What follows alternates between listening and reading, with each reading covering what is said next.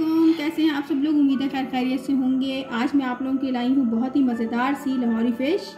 आपको नज़र आ रही होगी, ये कितनी मज़ेदार लग रही है। फुल क्रिस्पी है ऊपर से। इसकी रेसिपी मैं आपको बताने जा रही हूँ। उम्मीद है आप लोगों को पसंद आएगी। तो चले आए, हम इसको बनाते हैं।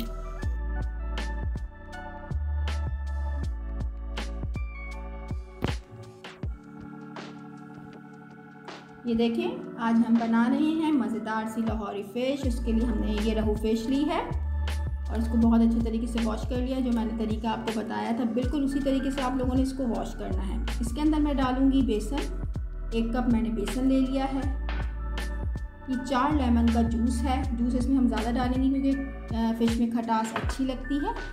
और ये दो चम्मच लहसुन अदरक का पेस्ट, एक चम्मच कुटी हुई लाल मिर्च उसके बाद नमक हंसपे ज़रूरत, जो आप लोग ज़्यादा खाते हैं तो ज़्यादा डालें कम खाते हैं तो कम खा, डालिएगा। काली मिर्च एक चम्मच, पिसा हुआ गरम मसाला एक चम्मच, डेढ़ चम्मच मैंने लाल मिर्च पाउडर लिया है। उसके बाद ये ज़ीरा और धनिया पहले अच्छे तरीके से भून लें इसको और फिर पीस लें। ये देखें, इसका बहुत अच्छा टेस्ट आता है, खुशबू बहुत अच्छी आती है। ये सब चीज़ें हम फ़िश के ऊपर लगाएँगे। सबसे पहले इसके अंदर हमने अदरक लहसुन डालना है।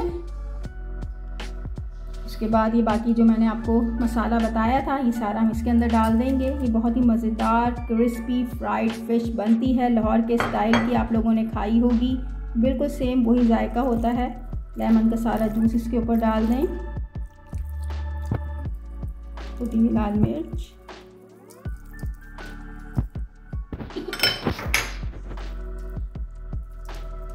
धनिया, ज़ीरा, कुटावा। अब इसको अच्छे तरीके से हमने मिक्स करना है। अब ये देखें कितना अच्छे तरीके से मसाला इसके ऊपर मिक्स हो गया है। आप इसको यूँ भी फ्राई करके खा सकते हैं। अगर क्रिस्पी ज़्यादा करना है तो इसके अंदर बेसन डालेंगे। उससे उसके ऊपर क्रिस्पीनेस आ जाएगी। वैसे हम यूँ भी इसको खा सकते हैं। ये बड़ा मज़ेदार मसाला इसके ऊपर लग चुका है। अब मैं इसके अंदर बेसन डालूँगी।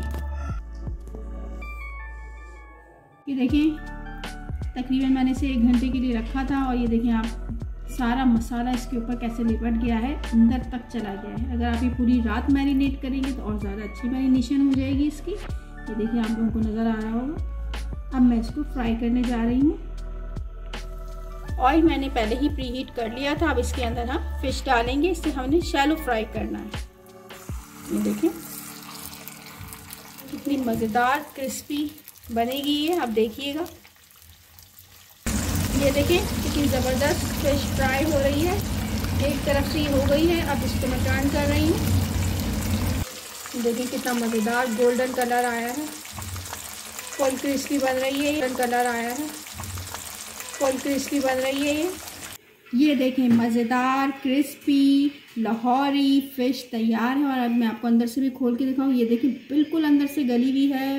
क्या ज़बरदस्त इसका लुक आया है फुल क्रिस्पी है। मेरी इस रेसिपी को आपने ज़रूर ट्राई करना है और मुझे बताना है कि आपको ये कैसी लगी। इसके साथ मुझे इजाज़त दीजिए, अल्लाह हाफिज़।